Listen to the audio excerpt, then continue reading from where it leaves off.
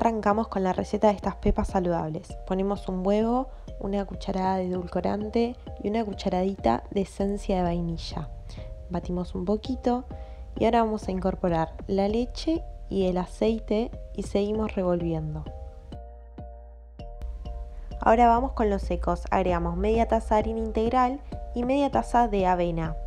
Esta es la taza que usé yo, una taza de café. Esta es la textura que les tiene que quedar. Ven que es bastante líquida, pero es importante porque si no la harina integral es muy seca. Bueno, ahora sí llegó el momento de armar las cookies. Lo que yo les recomiendo es que se preparen un vaso de agua y que ahí mojen dos cucharas con las cuales van a armar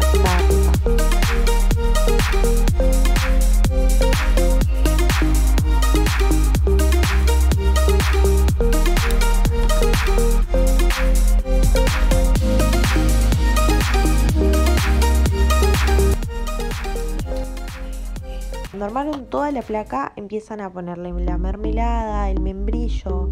Pueden cocinarlas así y después le agregan chocolate, dulce de leche.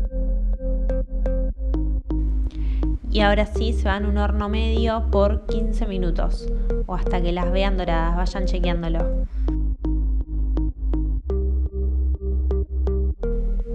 Bueno, y así les quedan estas galletitas sin harina refinada, sin azúcar.